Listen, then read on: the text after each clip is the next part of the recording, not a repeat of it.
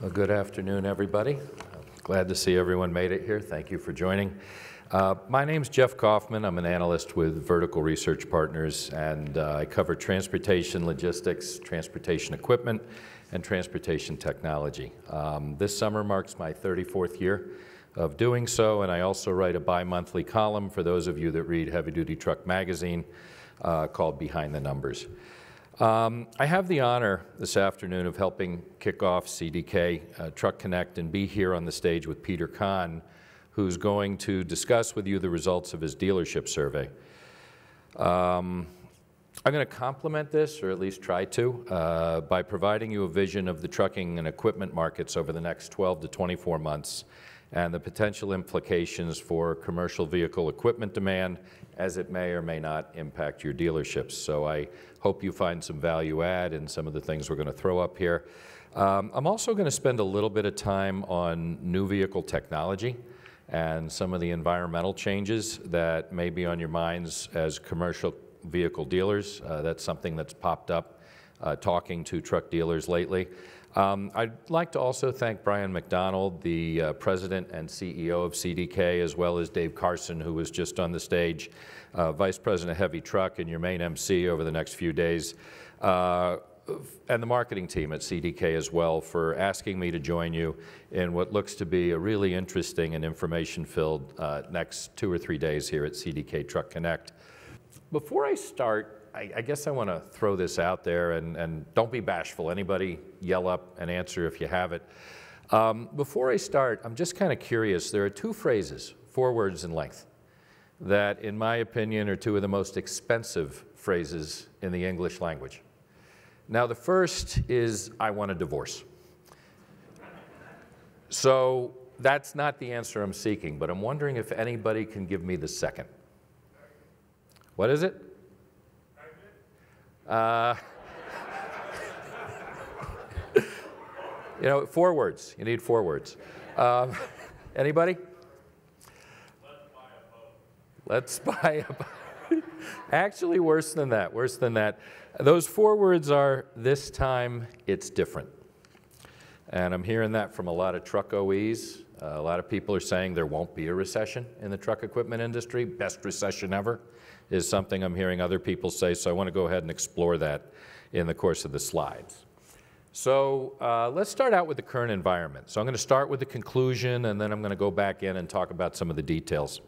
By no measure that I use to evaluate the freight markets do we appear to be in a recession at this time. Now, we have a lot of negative shipment volumes because of a very large inventory correction that's going on right now in retail and chemical and a whole bunch of other industries. And, and maybe history proves us wrong.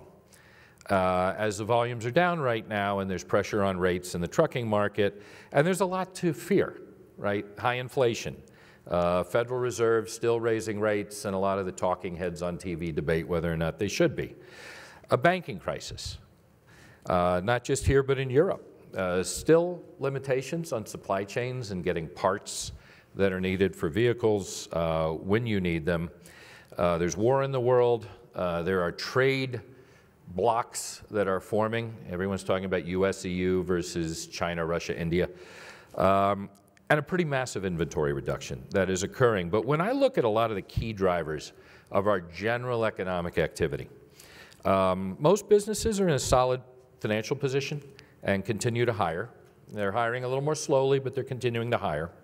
Unemployment still remains pretty low, pretty healthy. Consumer credit still remains viable. Most of our credit cards uh, we can still use. The government stimulus is still pretty significant. Uh, housing and rental prices, even though people talk about how housing demand is down, prices have still been going up. Uh, and wages continue to march higher. And many retailers that I speak to, trucking companies that I speak to, believe really the only thing that's a problem right now is this inventory adjustment, and we should come out of that shortly. Uh, but it was interesting, a company called JB Hunt released earnings last night, and they're backing off of that view a little bit, and they're getting a little nervous about the concept of a second half bounce a little later this year. We'll discuss that a little more later. But there's no doubt, I think in my mind, and you may be seeing it in some of your businesses, that the velocity of our economy is slowing down. Retail sales and consumer spending are decelerating, business conditions are decaying, and I think the eventual outcome of this Silicon Valley Bank and Credit Suisse uh, banking crisis is that lending standards will tighten. Um, and you're going to see it slowly, but then you're going to look back and say, wow, it's a lot tougher to get credit than it used to be. Uh, the stimulus programs are still out there, but they're fading. And household income and wealth is down, uh, down over the past year. So we've seen layoff announcements. A lot of these announcements have been largely restricted to technology, but now they're starting to happen in real businesses, uh, starting to happen in the industrial space a little bit more. So let's keep our eyes open. Let's see what's going on. It's my experience that history doesn't repeat. It, it's never exactly the same, but it does rhyme.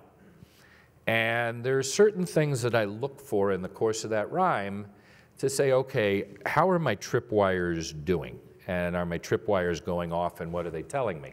So I want to talk about some of the tripwires that are being triggered in truck freight because truck freight is a leading economic indicator. And truck freight leads rail freight, and rail freight leads industrial activity, and industrial activity leads corporate profits.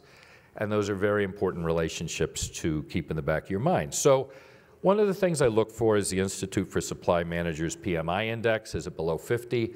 And I apologize if I'm throwing out some things a lot of you don't follow that often, but these are the things that I look at to try to figure out what's going on. And yes, not only is it below 50, it's at 46, which I'll show you in a couple charts, is, is not a healthy level. And it has negative implications for truck tonnage in the next three to six months. The yield curve is inverted. You're probably hearing a lot about this on TV and people are talking about it. The yield curve itself does not cause a recession, but in the presence of a lot of other factors, it, indicates, you know, hey doc, it hurts when I go like this. Well, there's probably a reason, and the inverted yield curve is one of those reasons. Uh, not that it hurts when I go like this, but something to keep in mind. Um, we've just entered what I think is a profits recession. And this is important because profits matter. Profits are what dictate cash flows, and cash flows are what dictate activity. And we're going to talk about that more in a minute. Um, some of the more mundane things I look at, weight per shipment for LTL companies is deteriorating. That means we're going from 50 hair dryers on a pallet to 49 and 48 which is a bit of a leading economic indicator. Truckload empty miles are rising, which means you have to drive a little further to get that next load of freight. And rental fleet utilization is starting to slow. Uh, gains on equipment sales. Uh, a lot of you equipment sales are very important because it represents trading collateral for your customers. That's still healthy, but it's declining. And uh, spot truck rates, which is something we keep an eye on, have kind of leveled out, but they're not getting better. And this is a time of year where they should be getting better. So it just shows kind of an absence of a catalyst to move forward in the market. And as many of you are dealing with at your dealerships, but also a lot of the truckers are dealing with, we're still paying more for labor, we're still paying more for insurance, and we're paying a lot more for maintenance. So these are some of the things I look at, and, and it's not just one or two, I've got seven or eight that are all going off. Now, we're still missing some important catalysts that haven't taken a seat at the table to really kind of consider, okay, we may be getting into recession territory, but they're close. Industrial production is right around the zero level. It's not yet negative, but it's getting close. And then equipment cancellations are still pretty low by historical standards, less than 1% of backlog, but they used to be half a percent of backlog or three tenths of a percent of backlog. And I don't get alarmed till they get over two or 3% of backlog, but they're up. And that's something to keep an eye on. Now, I know there's some truck OEs in the audience.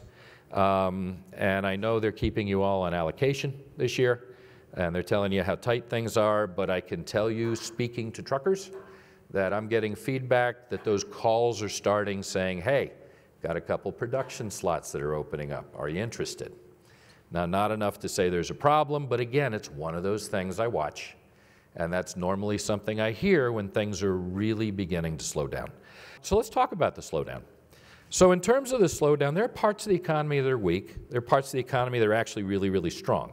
So where we're seeing the slowdown right now is housing, which is impacting lumber and furniture demand, appliance demand. We're seeing a slowdown in advertising, uh, and a lot of technology companies raised a lot of money and then kind of overgrew and now they're in the process of correcting. Where it's slow, but companies are telling me this is mostly because the inventory adjustment would be things like chemicals, uh, retailers, uh, which impacts corrugated box demand as well as some areas of manufacturing. And then there's the industries that are still kind of robust. And either they've got backlog supply chains like truck OEs, because we were missing semi chips, we were missing parts, we couldn't produce enough, and now those things are here and, and we're ramping up production. Um, so we're seeing that in automotive, we're seeing it in truck OEs. Uh, we're seeing it in uh, aggregates and construction materials, aerospace defense, energy petroleum, and then the consumer travel areas like uh, hotels, cruise ships, conventions, um, and trade shows. So you know, not all things are bad, you know, even though we're getting tripwires, but you want to watch the trend, and that's what we're going to discuss. So there's been an increasing hope since the Silicon Valley Bank uh, crisis that we can avoid the recession and hey, we're not going to have a recession because we had a banking crisis and the government stepped up and contained it, and we're going to be okay because the Fed's going to cut rates and they're not going to let this economy go into a recession. Um, I don't buy that. I really don't buy that.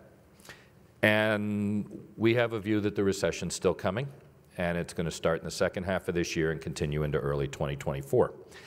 Now, I'm going to oversimplify things a little here, but I think the path of that downturn depends on three things that are kind of interconnected and then one that has nothing to do with any of these. So number one is the path of inflation.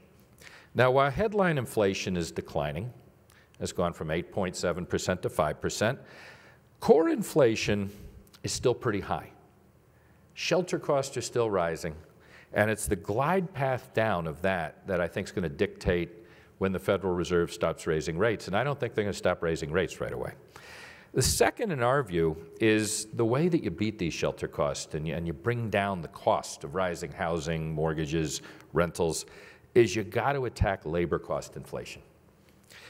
And the trick is the only way you do that is to slow the economy and slow hiring and maybe even get us into a position where companies are firing. So you got to attack corporate profits. So the trick is can you slow it down enough to bring down these shelter costs that are causing high inflation without triggering a financial crisis. Lastly, our consumers about 70% of the economy. So what happens to behavior of consumer spending as credit tightens and wage growth slows?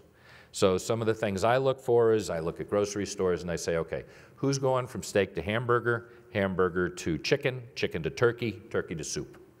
So those are the trade downs that I'm watching for at the consumer level to kind of confirm what's going on in our economy. Now, the big one is the unconnected event. And I want to talk about that for a second. Um, because I'm going to refer to this as, as unintended consequences, or what Donald Rumsfeld used to call the unknown unknowns. Most recessions are relatively mundane until we have the unintended consequence. And that occurs and then it turbocharges what was generally a benign downturn into something a little more nefarious. And I want to just go back over the last few recessions and talk about this. So during the Great Recession of 08, 09, um, it was really the collapse of Lehman that triggered the credit crisis that led to the failure of credit and most major banks that caused what was kind of a benign recession in 08 to become a very deep recession that lasted into almost 010. In the recession of 2001, it wasn't the meltdown of the dot-com bubble, it was 9-11 and the fraud that was uncovered at Enron and a couple other companies that caused this crisis of confidence that actually led to this two-year morass in lending and markets. During the recession 1990, it was a savings and loan collapse and the fall of the junk bond markets. Anyone remembers Mike Milliken and Drexel and LBOs and things like that. And, and that's really what took that to a new level. So the question is, what collateral damage are we going to encounter that turns into an unintended consequence? Is it the collapse of FTX and the crypto market? No, wasn't that. How about the failure of Silicon Valley Bank? I think a lot of people want to say that was it. No, it wasn't it, because then we followed with some banks in New York and then a bank in Europe. I, I don't know that this banking credit crisis is contained. And I think if things get worse, it shows back up. But the market seems to have moved beyond that. Or what about the debt ceiling discussion? That's getting a lot of headlines right now. We got Republicans who are convinced we're not going to let the Democrats raise the debt ceiling unless we get these things and we're willing to go to the mattresses. And I got Democrats that believe, well, if we get an inch away from a collapse of the federal government, we can blame the Republicans. And it's a victory for us. And the problem is, you skate too close to that edge on the thin ice, and maybe something bad happens that you didn't expect. So there's a lot of things out there to be concerned about. I don't know what it's going to be, but that's kind of one of the things to keep your eye on. Not so much the Fed and interest rates, but kind of what kinds of crises are going to occur as a result of what we're doing that are going to slide down into something a little, little worse. Now, Jamie Dimon is the chief executive officer at JP Morgan. He likes to talk a lot. So he was talking last week about his view of the economy. He thinks there's going to be a recession. I'm just throwing up his bullets. I apologize. A lot of news. But basically, it's everything we hit except he's focusing a little bit more on the external geopolitical environment, right? What happens if China goes after Taiwan and, and we get a trade war or something like that. But just to throw that out there. Now, I want to focus for a couple minutes on some of the big picture fears, because I think some big topics that you're dealing with with your dealerships are cost inflation and higher interest rates and financing our floor plan and things like that. So, you know, what are our thoughts on inflation? What are our thoughts on corporate profits? So I'm just going to hit this briefly and then we'll go into more industry specific things. So inflation seems to be the hot topic in the news. So let's tackle that first. So what this slide does is it actually breaks down the components of inflation. So you can see what's helping and what's hurting. And the bubbles represent the size, how big it is, so to the right it matters more, to the left it matters less. And then the arrows represent the direction over the last nine to 10 months. So this kind of gets to my point. You see that big drop in energy prices on the far left of the chart. So of the 3.7 percentage points I talked about, from 8.7 to 5 since last May, 3.4 of those 3.7 was simply the cost of lower energy prices. That was it. That's actually accounted for 90% of the difference.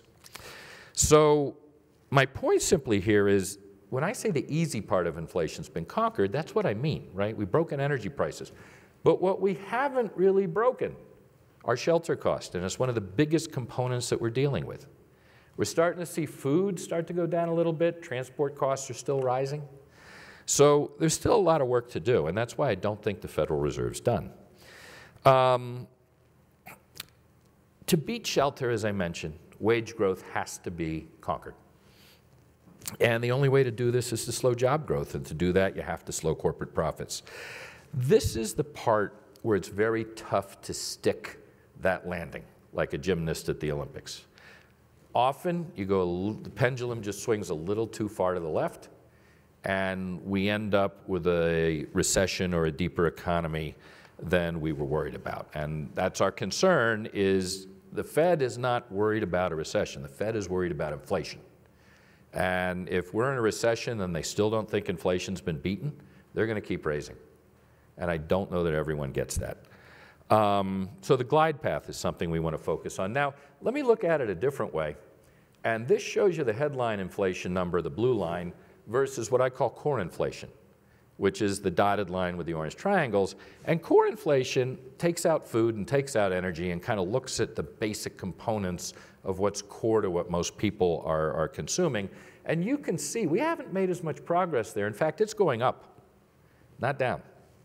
So the headline number looks great, but the core number, I think there's a lot of work to do. Now, let me talk a little bit about our leadership in financial markets. So this is the dot plot, if any of you have heard about this. So that's all the different people who serve on the Federal Reserve have a view of what interest rates are going to do over the next couple of years. And here's the point I want to make. The thick black numbers represent what expectations were last summer. The circles represent where it was as of the most recent outcome. In the case of 22, that's history. So they were thinking 3.4, it ended up at 4.2. They were 20% low.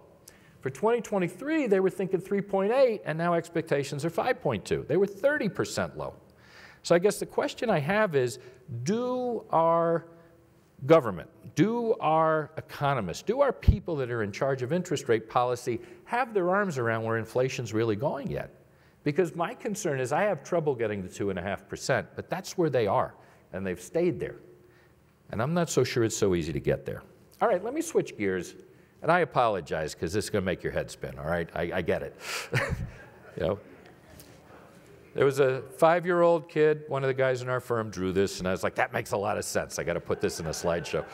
Um, so let me explain this because it's actually a really cool chart. So, what this measures is the rate of inventory growth east and west.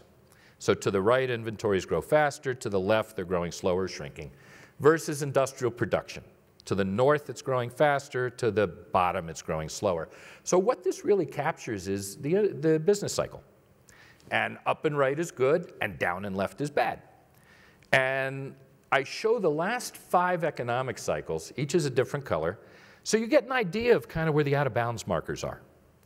Right? So this is where industrial activity tends to peak, this is where it tends to trough. Here's where inventories tend to level out, and you can see we went way right of that.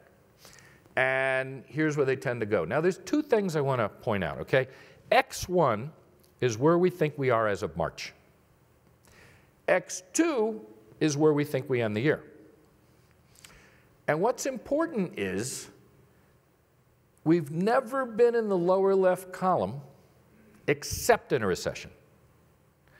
So if that's where we're going, we've never been there and not been in recession. We're talking industrial production down 4 or 5%. We're talking inventory shrinking. Um, I try on the chart on the right to say, okay, well, inventory is measured in dollars, and we know there's inflation in inventory. So let me try and strip out the inflation. So I don't know if I got it right or not. But just to give you an idea of what we look like on units, right? So it's not as severe on units, but the point is to get from X1 to X2, we have to walk through a part of the forest called zone of concern. And zone of concern is when our economic output is negative, but we still have things to do to fix the system. And this is where bad things happen. This is where Lehman happened. This is where Enron happened. This is where the unintended consequences, whatever they may be, tend to present themselves. So the point I want to make here is there's talk out there that inventories are in the right place. Our numbers say no.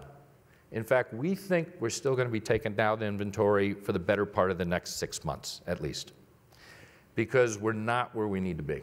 Uh, we're not in a position to resume growth right now. So I just wanted to show that up visually. See, this chart makes more sense now. It's, it's still crazy, but makes a little more sense now. All right, so let's go ahead and talk about profits. And corporate profits really matter because this is where you have the cash to hire people. This is where you have the cash to spend on new trucks or new technologies. Uh, this is where you have the cash to say, okay, we're going to hire some consultants. You guys go travel to conferences. We're going to do all kinds of cool things. And when this comes under pressure, and you can see what it looks like in a true recession, right? We're not there yet, but we're very clearly headed in that zip code. And we're currently at a place where we don't normally spend time. Expectations for earnings this year, and I'm going to use the S&P 500 earnings number because that's the best measure of major corporations, was for 7% growth this year. We're only four months into the year, and that number has already become 3% decline. We're worried you could get to that 10% decline level, and that's really kind of in line with other recessions. And if that's where we get, the unemployment rate is not going from 3.5 to 4.2, it's going to 6.5. And you're going to see Class 8 orders be down 30, 35, 40%. And I know none of the truck OEs believe that can happen because we've got pent up demand and we got backlog. But you got backlog until you don't. And that's why I'm looking at cancellations, and I'm very focused on this. Now, we're going to go ahead and handicap everything I put together. And we run a lot of scenarios, and where we come out is we think we got a 60% chance of being in a mild recession in the second half of this year. But I want to point out something important here. We think the odds of having something better than this are about equivalent to the odds of having something worse than this. And nobody ever forecasts a severe recession. But this is kind of where we are right now. And what's interesting to me is, and I'm going to show you a chart on the difference between a bad recession and a good recession. when I look at 2024, most companies have this humongous bounce back in earnings, 16% right now. So there's no way that anybody that's forecasting 24 is worried about a difficult environment right now. And I think that's something just to put in the back of your mind and think about as you're building your plans. Because if I'm right about where we're going in the second half of this year, and I could be wrong, then it's going to carry into 24, and there's no way we're bouncing back to peak of cycle margins in six months. So, what changes our mind? Well, there's a lot of things that can make this better. There's a lot of things that can make this worse. As I always joke with, with the guys that work for me, whatever we forecast today is going to be wrong tomorrow. Just keep that in the back of your mind. Don't stress about the forecast. But you need to have a plan. And you need to have a reasonable basis for it, and hope is not a strategy. So let's talk about what can go right and wrong.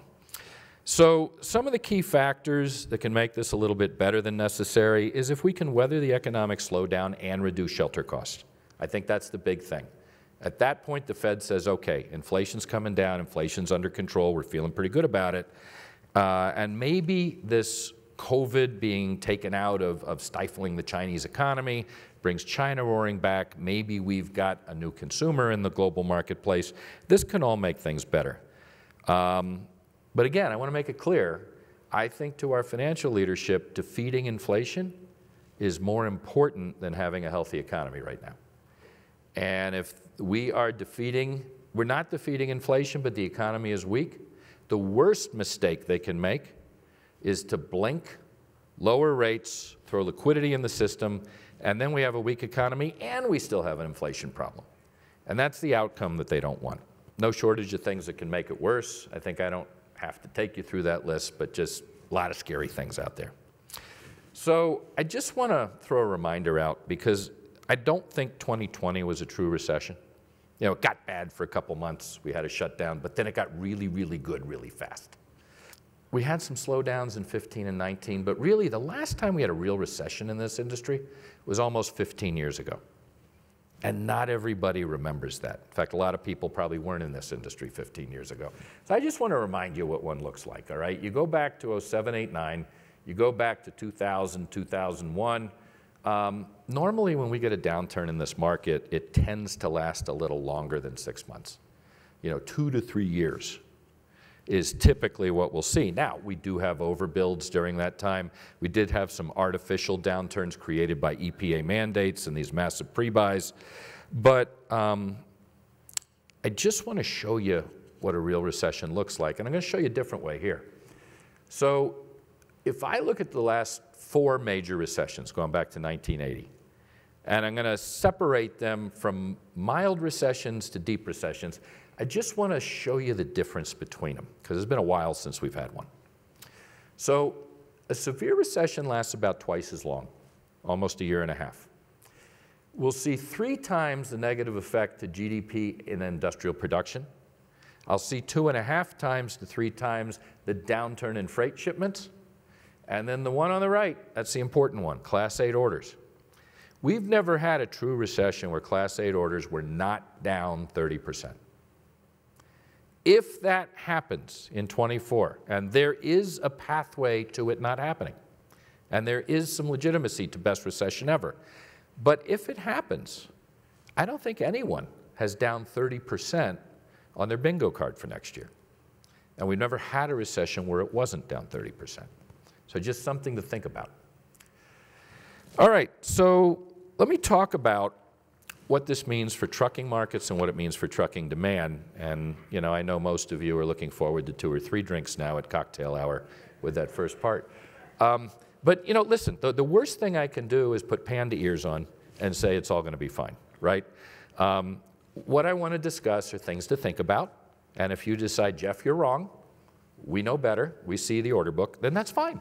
I, I just want to get you to think about it. So I'm going to take it from 30,000 feet down to 5,000 feet, and we're going to look at the tea leaves for the freight sector and trucking. So uh, apologize, these are busy charts, but um, any leading indicator of truck demand and profits, we expect the environment to continue to deteriorate.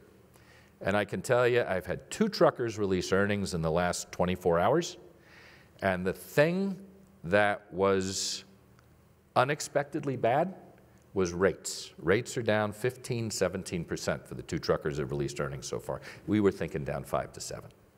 So the environment is deteriorating very rapidly for truck carriers right now.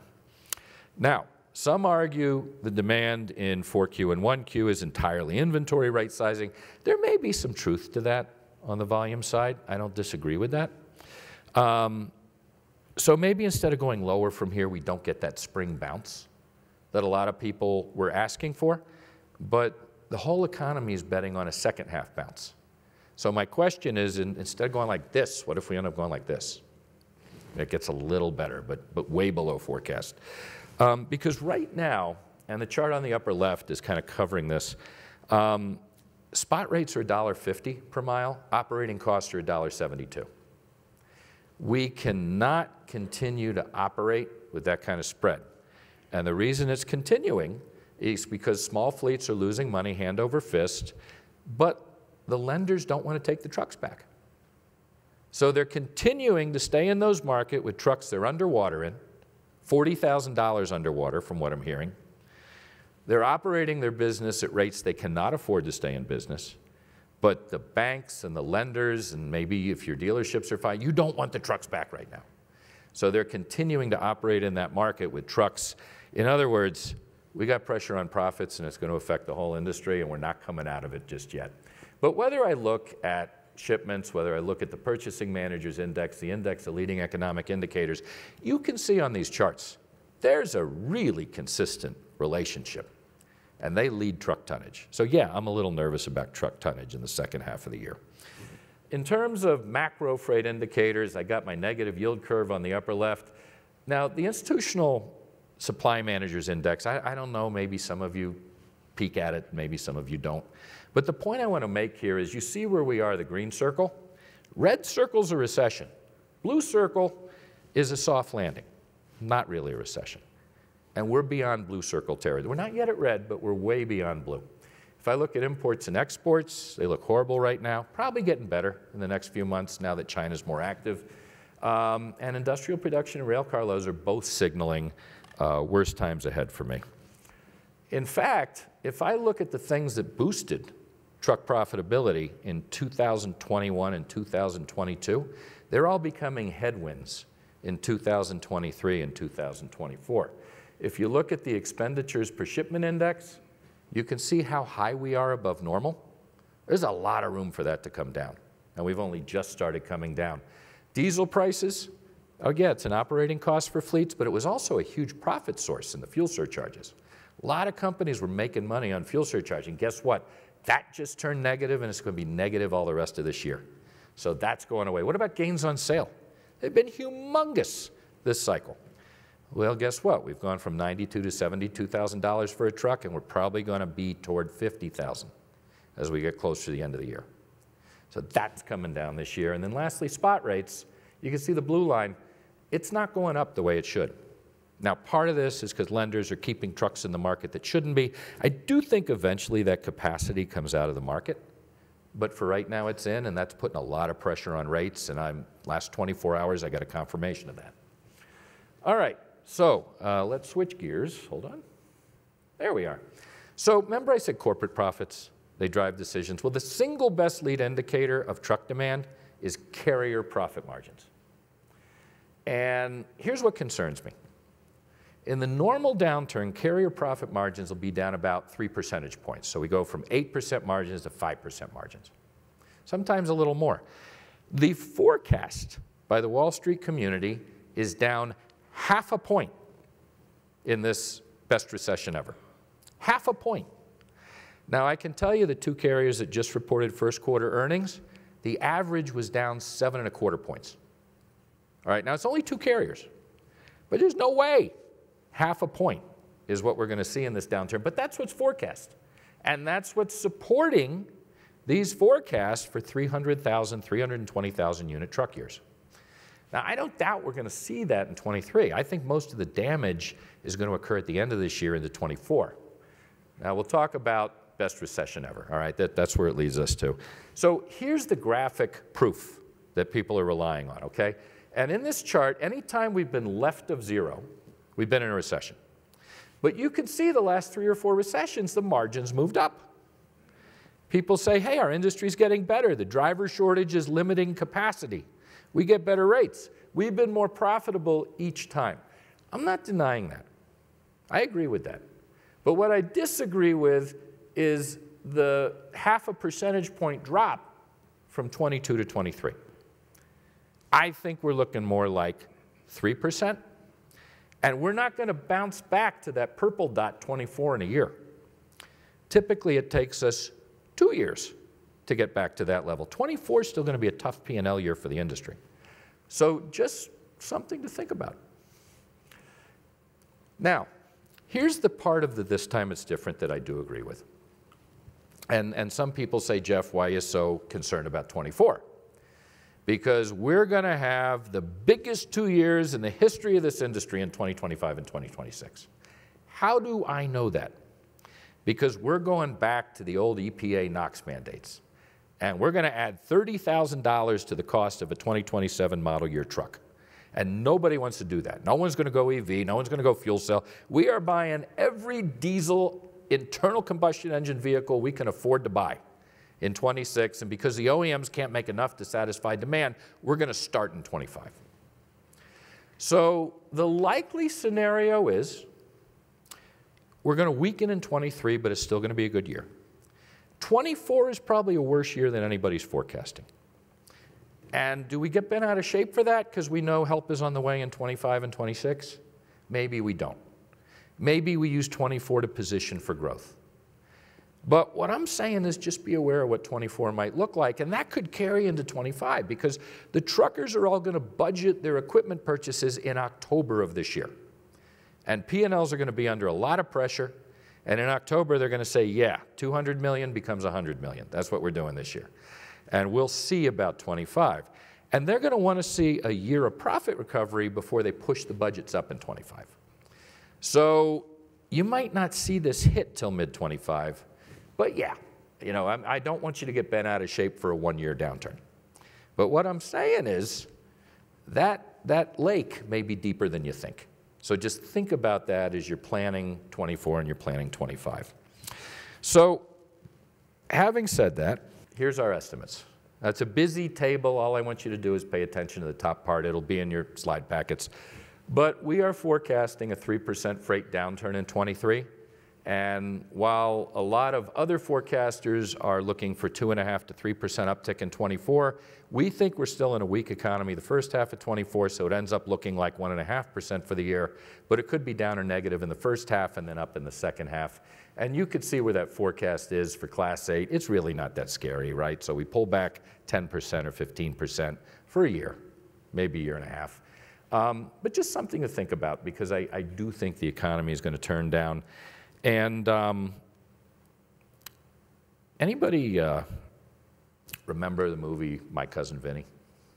Yeah, awesome. One of my favorite movies. I love the line, you know, are you telling me that the laws of physics affecting the rest of the grid eating population cease to exist on your stovetop? And the answer is no.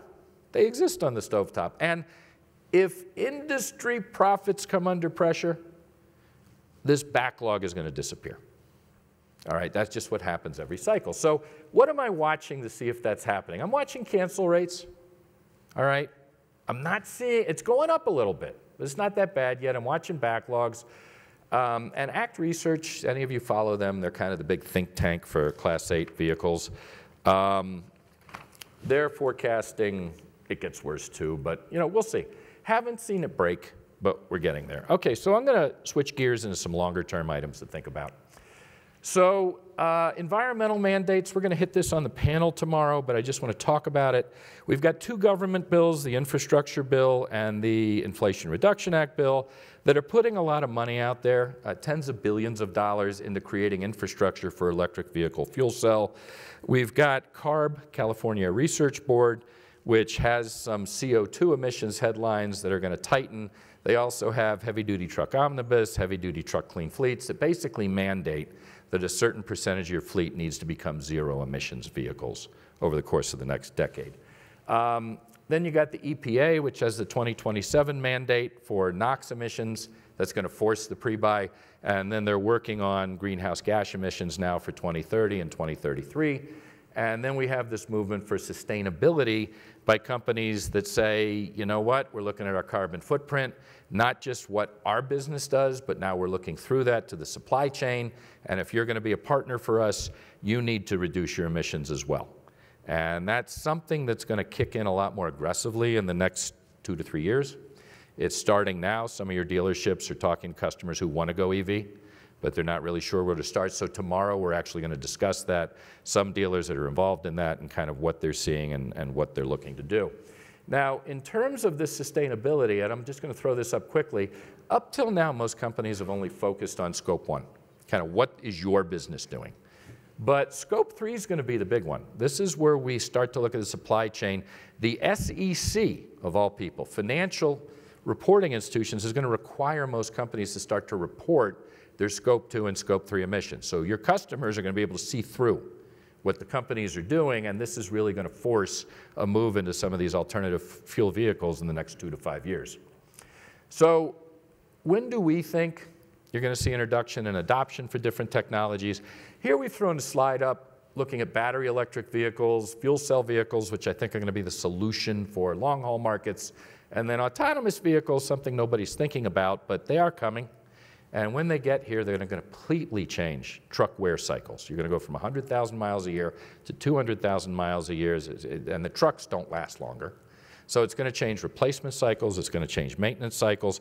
Nothing you really need to focus a whole lot on right now, but I think something you need to be thinking about in terms of this is something people are going to want in three to five years. So what are we going to be prepared to offer? Now, who knows what the future holds? Um, but let me talk about some of the anxiety people are having. With electric trucks, there's range anxiety, there's charging time anxiety, there's infrastructure anxiety. Uh, the range also varies as much as 20% in cold weather. So if the truck advertises 220, you really need to keep it to 160. But, um, and they cost about double what a regular diesel engine is right now. For fuel cells, you don't have the range anxiety or the refueling time anxiety, but you got a big infrastructure anxiety. This is probably the long-term solution for long-haul truckers, um, but we need to solve, I thought it was interesting, British Petroleum's purchase of, of Travel Centers of America, and BP is very focused on hydrogen. Uh, this tells me they're preparing for a world with hydrogen fueling truck stations. Um, not today, not tomorrow, but you do have people stepping up. So here's our best guess of what the cost differentials are for each of these vehicles. You can see fuel cell and battery electric isn't really economic unless you've got um, a voucher program or some kind of support for that. But as technology changes, and there are a lot of new battery technologies that are going to lower the cost of batteries in the next three to five years, you're going to see those cost curves come down. All right, lastly, what does this mean for dealerships? And I'm going to try and wrap up in the next two, three minutes here. I think absorption rates are coming down. They've been great. They've been steadily rising for the last decade. They were supercharged the last two years. I, I just think we're moving back toward trend. And the reason I believe that is you've got higher interest costs, you've got higher financing costs, you still have higher labor costs. And even though the maintenance bays are, are going to be busy, um, we think the truck sales component is going to go down in 2024. In terms of what a dealership can do to add value, a couple things we've identified. Digitize. We're going to talk about this on the panel tomorrow. Um, a lot of apps are taking pictures or using those pictures to give drivers the ability to report things on their phone. Organizations are moving this direction. Um, I think a partner like CDK is fantastic in this area with some of the software solutions that they bring to the table. But the point is, you need to be digital. And some people are ahead of that, some people are behind that curve. But that's something that needs to be done. Um, we're seeing a lot of companies focus on mobile service. Some dealerships offer it, some dealerships don't. But bring it to the customer, preventive maintenance, things like that, instead of the customer having to bring trucks in. Um, be nimble. Your customers' businesses are all changing. Uh, when we talk about fulfillment model changes, vehicle changes, uh, Gen Z is your new employee, and they don't follow email, they don't answer their phone, they text. And we've got to figure out how to manage that because this is the future. Um, I think you need to be staffed and stocked with people that are well trained uh, for your customers, particularly as these new technologies are coming online, and be a partner. You know, ask where your customers are going. How can you get involved uh, to solve things for them and be part of their business? Um, last slide, I'm going to go about a minute over here. Uh, long-term structural changes that some of you may want to consider. um, trailer pools, big thing right now. Uh, this is the way some fleets are solving lack of drivers. But now you're seeing some non-traditional customers start to enter the fray. Companies that were never buyers of trucks are becoming buyers of trailers. So you got new customers now, people like Uber Freight, people like C.H. Robinson, people like these new digital brokers. They're all buying these trailer pools, so something to think about. Um, I talked a little bit about the environmental and CARB mandates. Uh, this is something you got to plan for. Some companies are a little more proactive, some are less. Not a big thing right now, but will be in the next three to five years. Um, I mentioned autonomous vehicles. This is going to change the industry dramatically, but we're still probably five to 10 years from this being a really, really big deal. Um, fulfillment models are changing. The way Amazon changed retail, instead of three uh, warehouses all over the country, now you've got 80 regional fulfillment centers. And there's a lot more inventory velocity between these centers, and it's not happening in heavy tractors, it's happening in straight trucks. So straight trucks are part of the new e-fulfillment model and smaller trailers. So this is something that is happening that's kind of a long-term way in coming. Sustainability, I talked a little bit about it, but that's going to become a much bigger issue over the next couple years. Uh, we talked a little bit about digitization, connectivity, and a lot of the truck OEs have their connectivity programs. A lot of the customers are adopting these programs. You get to see maintenance on the fly. You get to watch a driver's driving habits. Um, you know, what can you do at the dealership level to prepare for this and be helpful? And then lastly, uh, reshoring. And this is a 10-year trend that's only starting. This doesn't mean Mexico. There's a lot of new plants and a lot of new factories that are being located in the US. You will see them come to life starting in the next two years and lasting for the next 10. But what it means is more freight, more vehicles, and some of your customer movements and chains may change. Um, with that, I want to thank you all for listening.